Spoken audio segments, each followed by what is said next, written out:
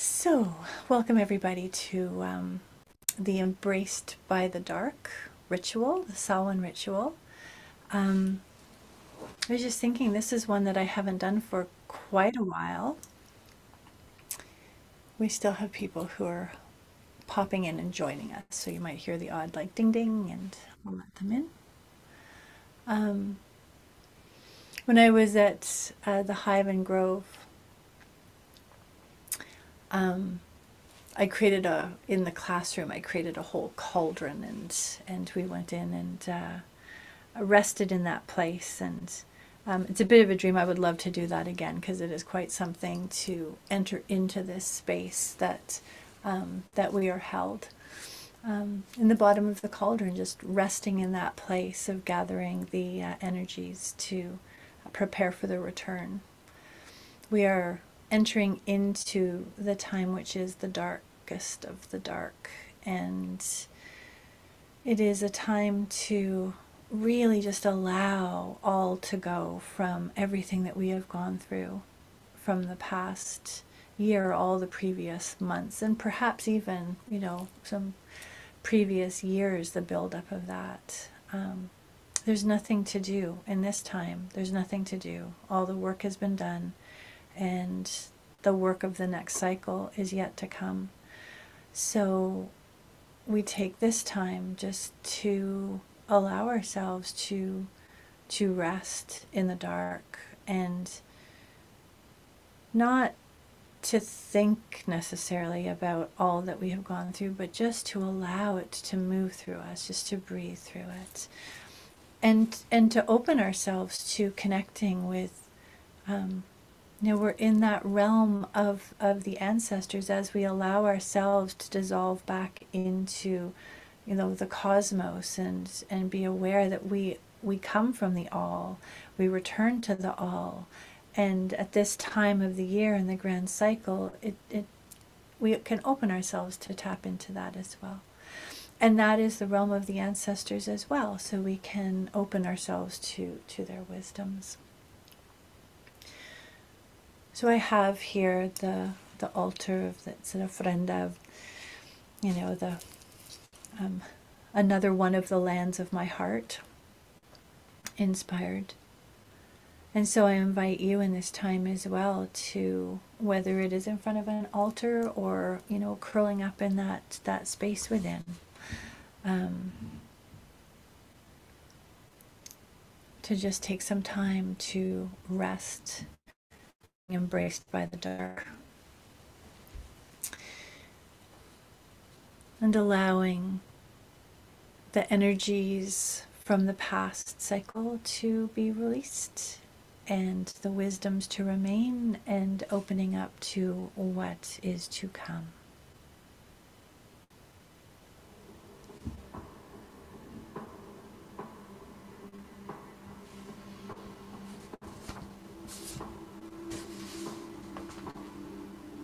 This is the threshold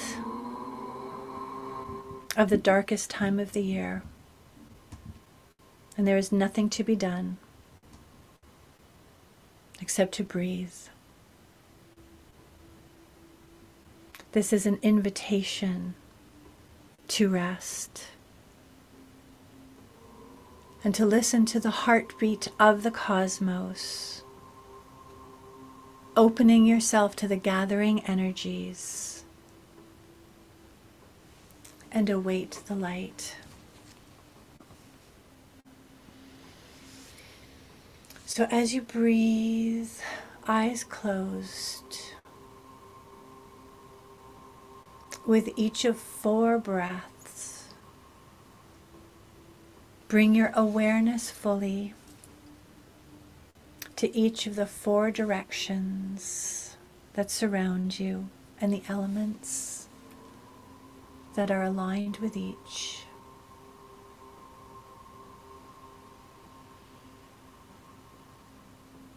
Breathe into the north.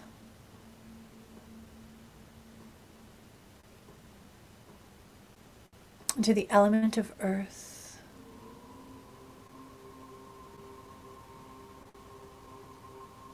Be aware of your body how you hold it in this moment,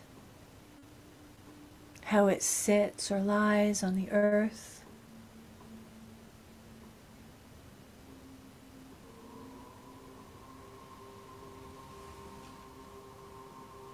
And breathe into east, the element of air. And be aware of the air that moves through you, your breath. And how it opens you to moving that life force within.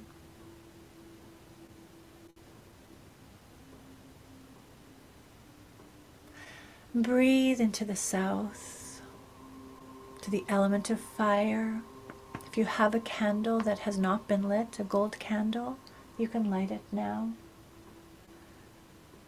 And as you connect with that element of fire, connect with the energy of that life force within. The will, the passion that has carried you through so many days.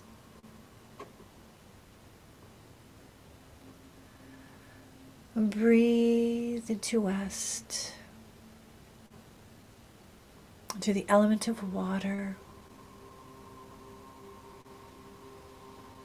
and how it flows through you, through your emotions, and informs you of your experience and how you're engaging with life.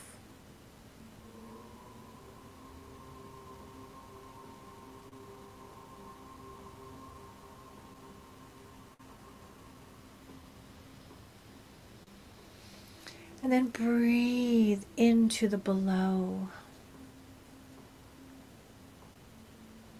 Reaching down deep into the earth.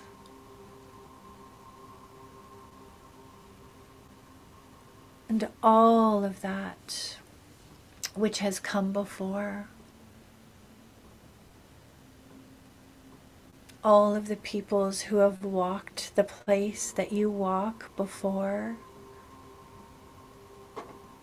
Hundreds, thousands of years. And the creatures, and all those elements of nature that all feed in to where you sit in this moment.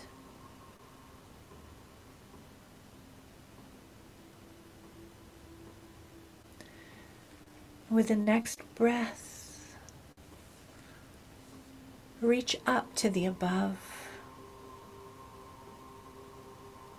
Expand into the limitless breadth of the cosmos.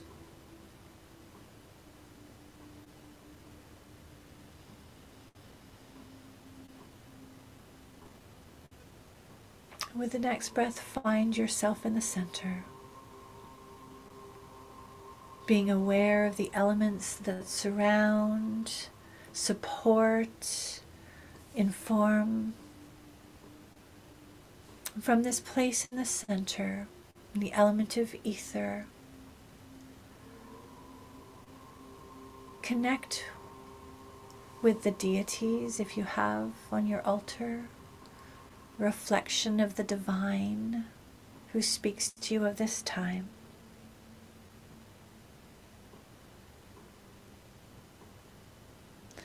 And know as you connect with all of these elements around, above, below, and center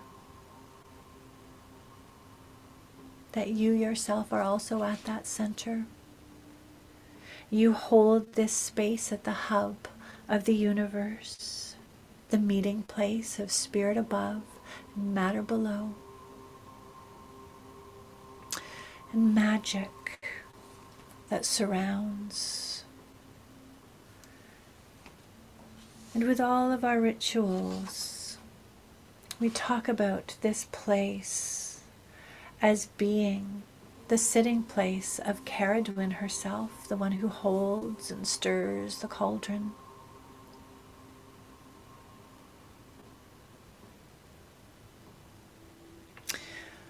But at this time,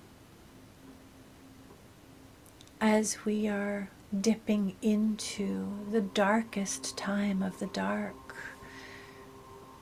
we no longer sit in the place where Ceridwen sits. We lie in her cauldron, taking the final journey before re emerging into the light. So allow yourself to imagine that in this deeply silent space, you hear the faint thrumming rhythm of a drumbeat, the sound of her heart,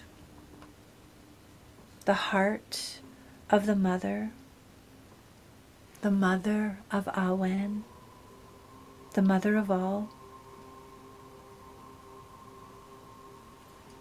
And allow this faint heartbeat to take you on a journey. There's nothing that you need to do. Just allow yourself to be carried along, beat by beat by beat. Allow yourself to experience where it takes you.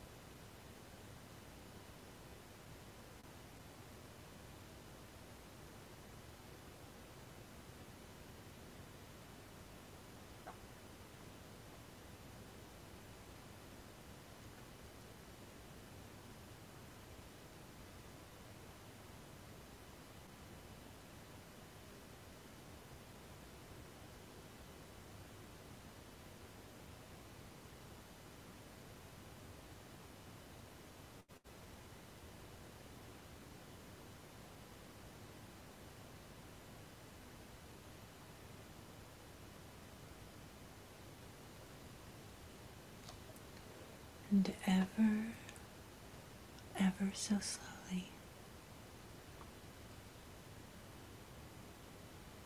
allow yourself to uncurl if you are curled in the fetal position. Allow yourself to stretch. Allow yourself to emerge from the cauldron.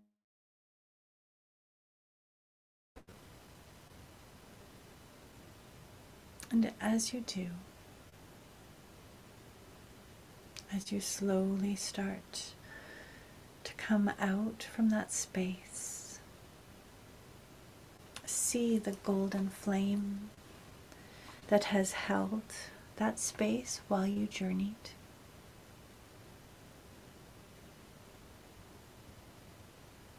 And take some time to gaze into that flame. Take some time to open up your heart to receive a message from Spirit or from ancestors.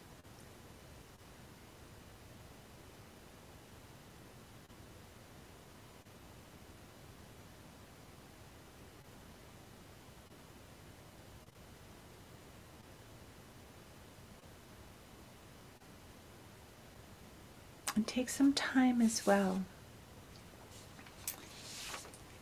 to choose three numbers. So I have three decks. So usually we have one deck that um, that we work with in ritual. But this time there were three that were called like the three drops of wisdom from Ceridwen's Cauldron. So, of one deck, there are three cards. Of another deck, there are four cards. And of the third deck, there are five cards. And so, as you hold the space, as you gaze into the flame, think of what number between one and three that comes to you. And think of a number between 1 and 4 that comes to you.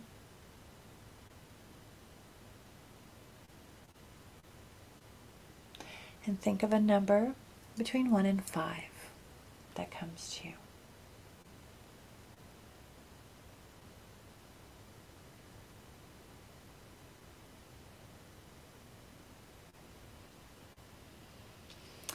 And so just holding space, just gazing into the candle, I am going to go through what these cards are.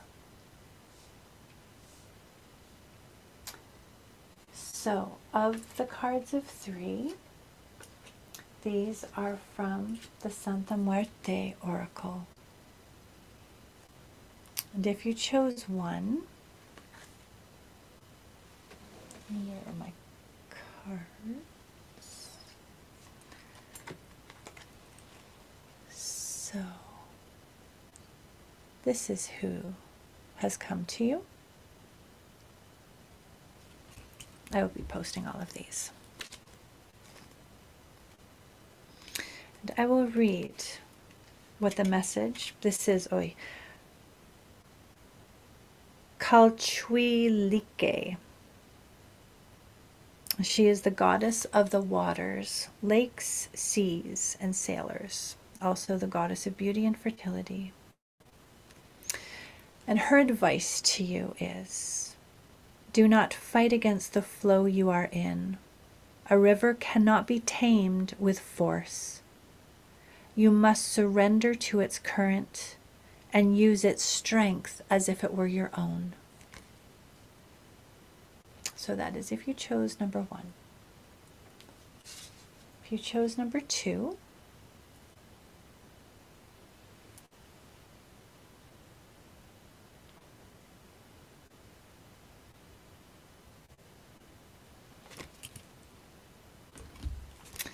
And this message from the dead.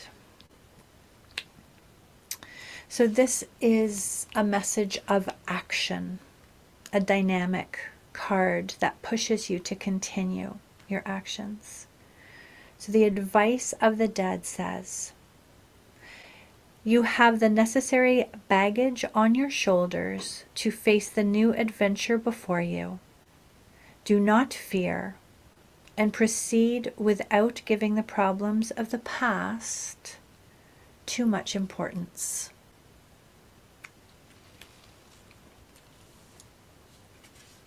And if you chose number three,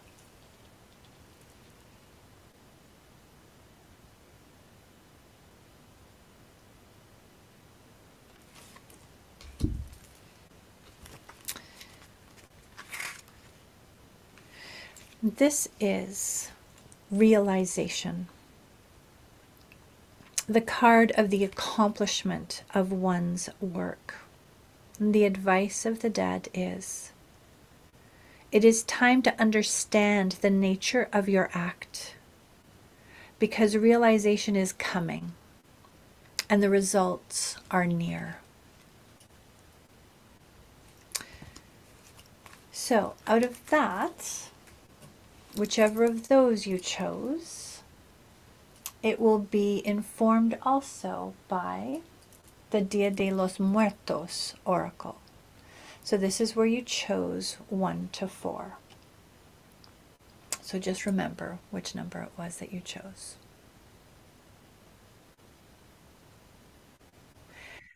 And if you chose, oh, someone's just coming in. If you chose number one, you have bebida.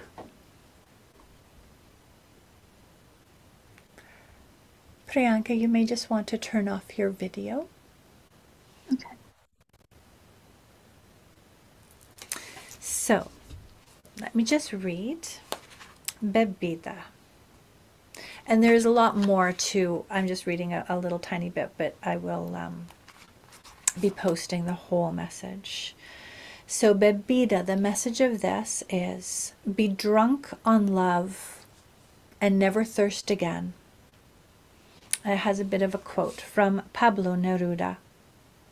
And I, infinitesimal being, drunk with the great starry void, likeness, image of mystery, I felt myself a pure part of the abyss. I wheeled with the stars. My heart broke loose on the wind.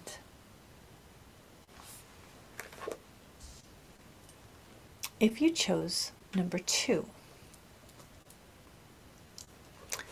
you have cruz.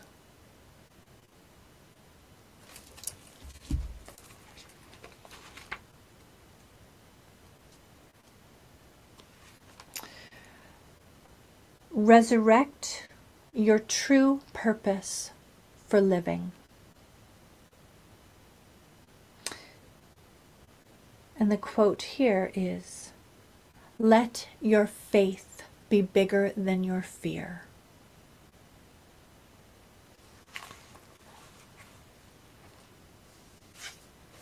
If you chose number three, Rosario.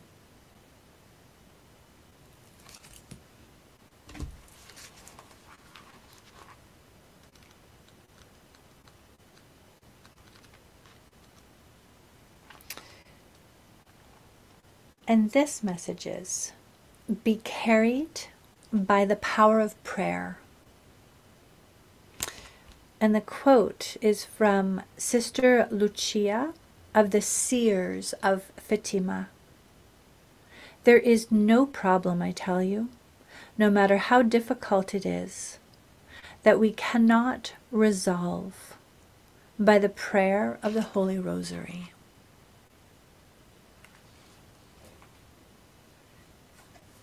And if you chose number four, you have Pueblo.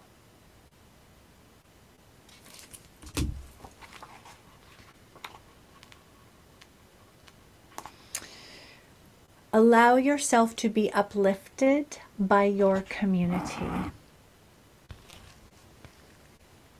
And this is a bit of a poem. Hold on to what is good, even if it is a handful of earth. Hold on to what you believe, even if it is a tree which stands by itself. Hold on to what you must do, even if it is a long way from here. Hold on to life, even when it is easier letting go. Hold on to my hand, even when I have gone away from you.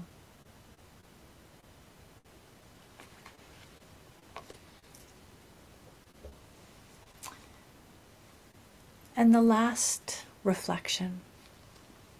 Remember which number you chose between 1 and 5. I'm just looking to where I have the book.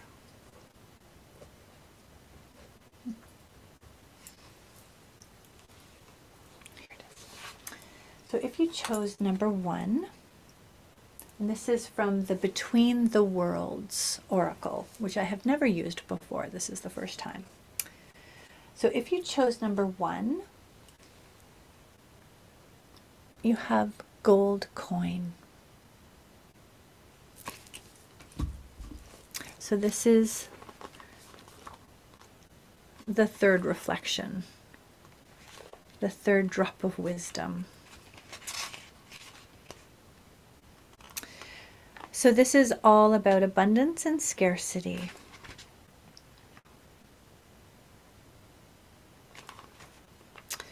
In circulation. It says, at the edge of the grass, out of sight, behind a rock, under a rose bush, it waited patiently. It had no memory of how it came to be there, or even how it came to be. Days were spent basking in sunshine, being washed in the rain, listening to crickets at night, watching the sun rise and set. So it sat until one day it was picked up and taken somewhere. How we perceive and how we interact with wealth affects our quality of life.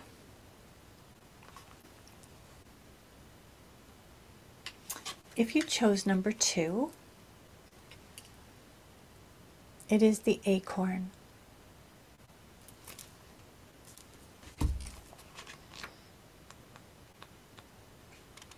And this is about growth and decay. It says squirrel spirit. How many of these do you need? This is like living with a squirrel. We have a bucket of acorns inside the house and very few trees out there. Put them back in the garden and let them grow into majestic trees. The message is acorns are seeds, and every seed grows when nurtured and in the right environment.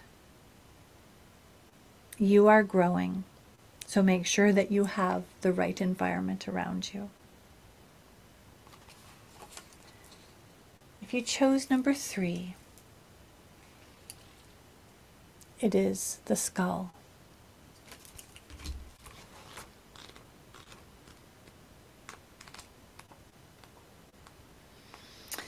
Ancestral agreement or ancestral cautioning, the casting. A short stub of a white pillar candle illuminated the table in front of her. It was quiet, sometime after midnight, full moon in Gemini, she was alone. She inhaled the incense deeply into the center of herself and focused on the shallow cherrywood bowl in her hands.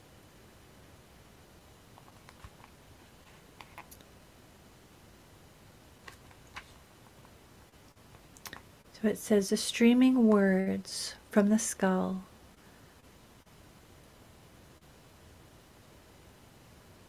Silence returned.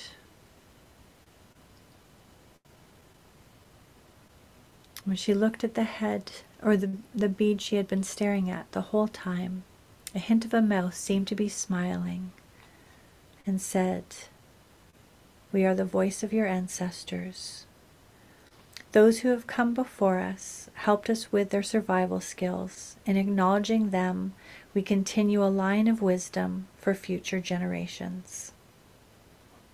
So there's more of a story here, which I will post. If you chose number four, it is the ring.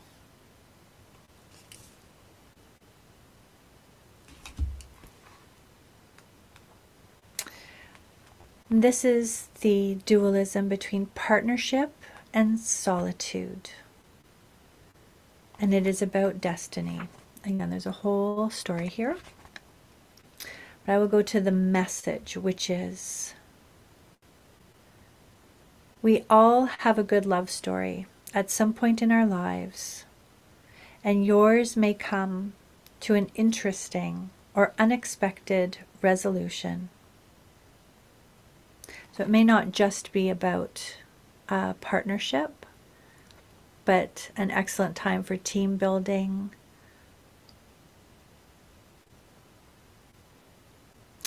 And learning how to stay true to yourself.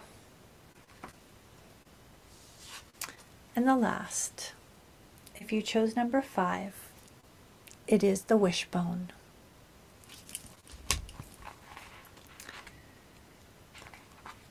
It's interesting because these last three were sort of one right after the other in the deck, even though it was well shuffled. So they wanted to come six, seven, and eight. So wishbone is fulfillment and longing.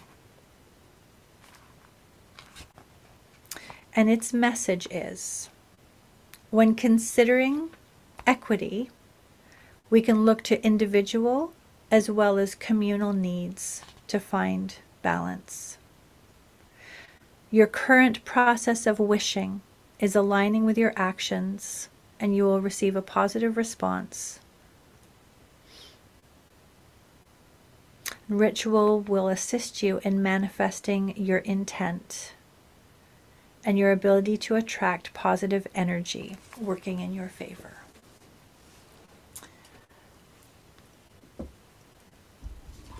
So just take a moment a lot of information.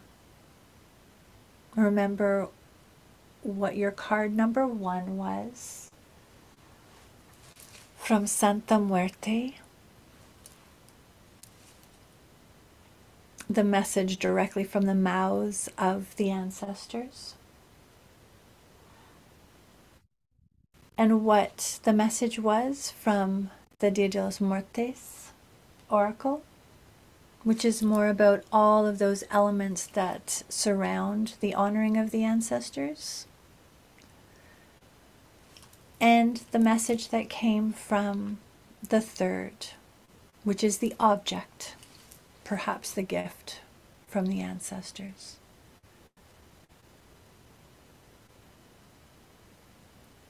And just take a moment to listen to how the three of those weave together something which is your message to sit within this time of the dark. To allow it to continue to unfold its message until the time when we come back into the light.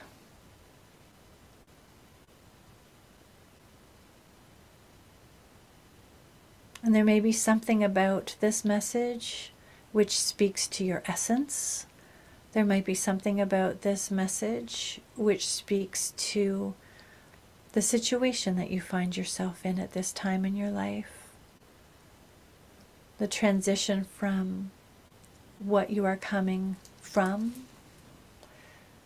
into what you are moving into.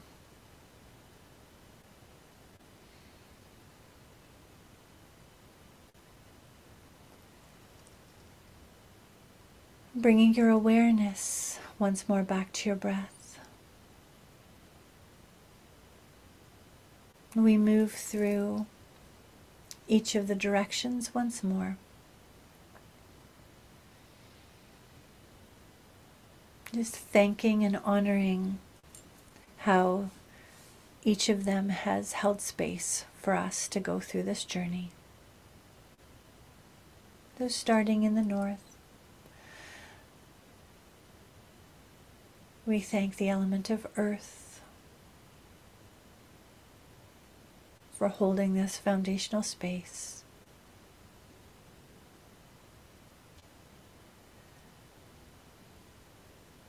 And in the east, sending gratitude to air for bringing clarity. And in the south, the element of fire for bringing vision. And holding that vision within ourselves, knowing that we always have that access to that insight from our third eye. Release the flame from your golden candle.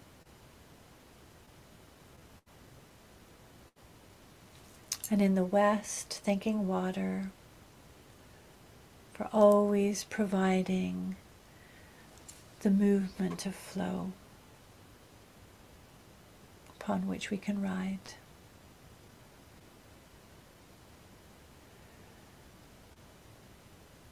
And above, just acknowledging the all that always has been, that we are a part of, we come out of, we return to.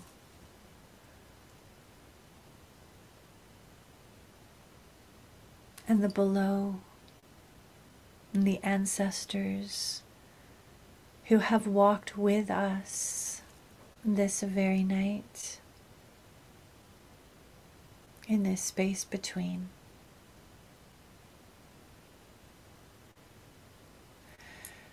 And finally, hands on heart, taking a deep breath in and thanking deity who has shown up, the gods and goddesses who brought their energy to this ritual and also honoring that reflection of the divine within, that spark which lives within us. Taking one more deep centering breath. Allow yourself to arrive back in your space. And I thank you for sharing this space. I'm going to stop the recording. And for those who want to stay and chat about all those cards, um, you're welcome to. So may you find wisdom in the dark, and may you find the song of your own soul in the dark, and bring that beautiful song back when the light returns.